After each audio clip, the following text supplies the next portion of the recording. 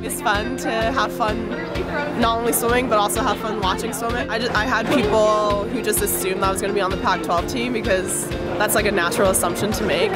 But um, yeah, I was like, no, it's kind of weird. Like I'm on the USA team, like racing against my own teammates, and like even behind the blocks, like for the eight free relay, like uh, I had Ella and Katie like next to me uh, on their Pac-12 relay, and we're just like, like good luck. Like this is so weird.